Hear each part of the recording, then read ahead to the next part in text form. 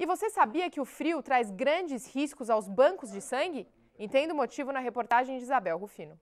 Nesta estação do ano, os bancos de sangue entram em situação preocupante por conta da diminuição na frequência dos doadores. Os estoques devem cair até 30% durante o inverno nos hemocentros do ABC. A capacidade dos quatro postos da região está em 70%, com média de 4.660 doadores mensais o que ainda é insuficiente para atender a demanda. Os postos do ABC são capazes de manter 6.600 doadores por mês. As capacidades diárias dos hemocentros são preocupantes, principalmente em São Bernardo e em São Caetano.